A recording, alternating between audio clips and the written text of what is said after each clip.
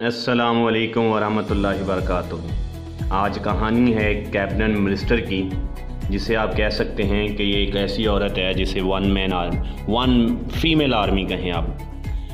वज़ीरिस्तान खैबर पख्तूनख्वा के सूबे में 17 अक्टूबर उन्नीस सौ चौरासी को आँख खोली वज़ीर अहमद जई जो वापडा में चीफ एडिटर थे। इब्तदाई तालीम बन्नू और मन मीरम शाह से हासिल की और फिर लाहौर आला तलीम के लिए तशरीफ़ ले आई। एन सी ए से ग्रेजुएट किया और अपनी तालीम मुकम्मल करने के बाद तहरीक इंसाफ की I S F Insaf student federation के साथ रजा कराना तौर पर और शौकत खानम के लिए रजा कराना तौर पर काम करना शुरू कर दिया।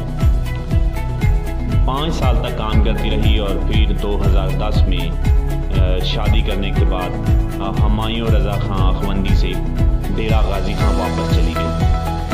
2013 में पीटीआई ने इन्हें कड़े इलाके में टिकट दिया और हाफज अब्दुल करीम के सामने खड़ी हुई। इनका हल्का था एन एक सौ बहत्तर और हार गई। सिर्फ़ अड़तीस हज़ार छः सौ तरतालीस वोट हासिल किए और ये डेरा गाजी खां टू था। लोगों का ख्याल था कि ये वापस चली जाएगी। ये औरत है और ये ख़ानदानी ये यहाँ सियासत है और यहाँ औरत की नहीं चलती और यहाँ औरत से घर को नहीं निकलने दिया जाता। लेकिन फिर 2018 में उसने वो कर दिखाया जो किसी ने नहीं सोचा था। 2018 में उन्हें फिर डेरा खान गाजी खान थ्री से इमरान खान ने टिकट दिया और उसे खड़ा किया अवैस लगारी के सामने। अवैस लगारी वहाँ तीन दफ़ा जीत चुके थे और फ़रूक लगारी के बेटे थे और वो वहाँ उनकी आबाई सीट थी और जो सदर रह चुके हैं। लेकिन इस दफ़ा पच्चीस हज़ार की लीड से जीती और seventy nine thousand eight hundred seventeen vote हासिल किए। और जीत गई और ये इमरान का एक औरत पर ट्रस्ट था कि ये उनको हरा सकती है। और फिर पाँच अक्टूबर 2018 को उन्हें फेडरल मिनिस्टर लगाया गया, प्राइम मिनिस्टर की विंग में शामिल कर लिया गया और वो कैबिनेट में बैठी। कैबिनेट क्या था? उनका माहौलियात इनके बारे में इनके एक फ़ैन का कहना है कि इसको आधे वोट अपनी जंग जवाना तबीयत और अच्छी तकरीर की वजह से मिलते हैं।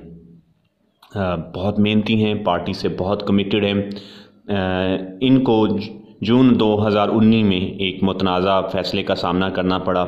इन पर इल्ज़ाम था कि इन्होंने नेक्टा को अपनी बहन की तैनाती के लिए ख़त लिखा है, इमरान खान ने एक्शन लिया और उन्होंने अपना लेटर विदड्रॉ किया, लेकिन उनका मौक़ था कि मैं राइट पे थी। क्योंकि ये पार्टी के रूल एंड रेगुलेशन को फॉलो फॉलो करने वाली हैं। अरताज गुल ने हमेशा ही कमिटमेंट से काम किया है। तेरह बिलियन के असासे रखती हैं और अपनी कमिटमेंट से और मोहब्बत से काम कर रही हैं। अल्लाह ताला इनको दिन, दुगनी, रात, चुगनी तरक्की दे। चैनल को सब्सक्राइब कर लें। आपकी मोहब्बतों और चाहतों का बहुत शुक्रिया कि चैनल इतना ग्रो कर रहे हैं और रताज गुल को अल्लाह आसानियाँ पैदा